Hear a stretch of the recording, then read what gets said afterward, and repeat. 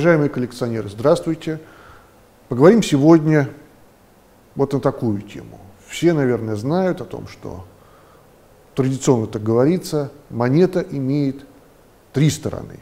Аверс, реверс и гурт. Сочетание их как дает с одной стороны э, элементы признаков подлинности монеты, так и возможны небольшие отличия. И именно сочетание трех сторон делает монету особой. Ну, скажем, может отличаться портрет и дата с другой стороны. Или знак минцмейстера. Иногда надпись или знак минцмейстера на гурте монеты. Все это разные элементы. И таким образом три стороны монеты, даже выпущенные в одном и том же году, при одном и том же правителе, создают разные вариации. Но, наверное, не будет ошибкой сказать, что монета может иметь и четвертую сторону. Это ее содержание. Содержание металла, метрические характеристики монеты, на которые часто не сильно обращают внимание или воспринимают отличие вот этой четвертой составляющей как заведомые признаки неподлинности. Но все же у монеты еще три стороны.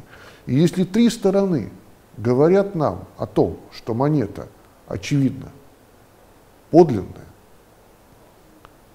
а четвертая составляющая, то есть ее проба, вес, может быть, размеры, отличается – значит, это вполне возможно говорит о особом варианте монеты. Ну, знаем это хорошо с вами на примерах так называемых тяжелых рублей Павла I 1797 года. Большие по размеру монеты, чем чеканившиеся в других годах. Это же не делает их не подлинными, они просто другие. И, наверное, таких примеров можно привести еще предостаточно. Вот и я вам сегодня покажу пример такой монеты.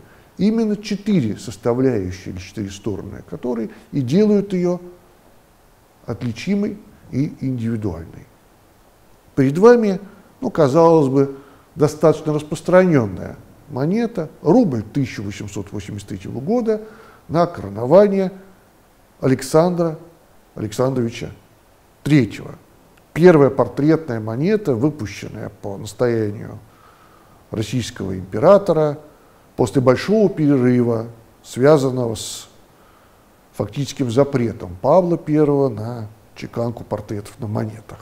И все в этой монете вроде бы обычно. Обычный портрет, обычная надпись, достаточно рельефная, хорошо выраженное зеркальное поле, свойственное для памятных монет. Опять же, символы государственной власти, регалии, большая императорская колонна, скипетр, держава, венок вокруг них, все типично. И гурт, обычный, вырубленный, без надписи, но и необычный. Обратите внимание, он очень узкий, гораздо уже, чем на других подобных рублях, выпущенных как в этом году, так и похожие, выпущенные годами раньше – монета коронования Александра III имеет так называемый каталожный вес 20,73 грамма. Данный конкретный экземпляр весит всего 16 грамм. Нонсенс. И тем не менее такие нонсенсы бывают.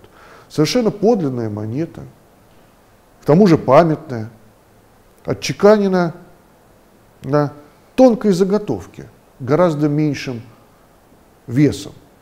И значит, ее вполне можно считать совершенно индивидуальным вариантом, разновидом монеты, так как все остальные признаки говорят ее, об ее абсолютной подлинности.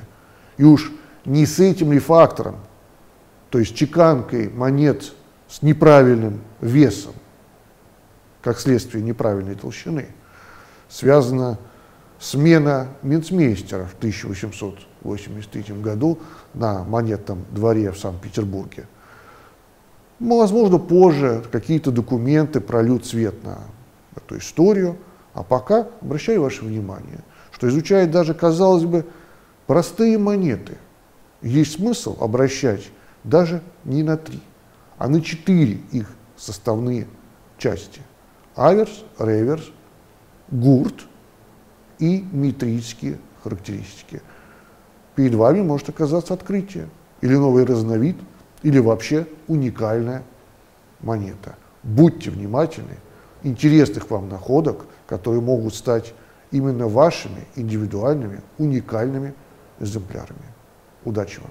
Обращаю еще раз ваше внимание на эту монету с великолепным изображением, регалии императорской власти, императорский венок, надпись «Рубль», и с другой стороны портрет Александра Александровича III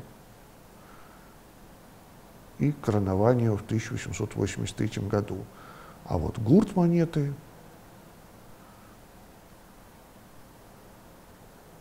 хоть и совершенно подлинный, но показывающий нестандартную толщину, гораздо меньше своих собратьев, при весе всего 16 грамм, вместе 20 и 73 сотых для этой монеты положенных. И еще раз обратить внимание на совершенно зеркальное поле, покрытое легкой патиной, монтированный портрет, монтированные надписи, все признаки подлинности и технологии монетного двора того времени на монете, очевидно, видны.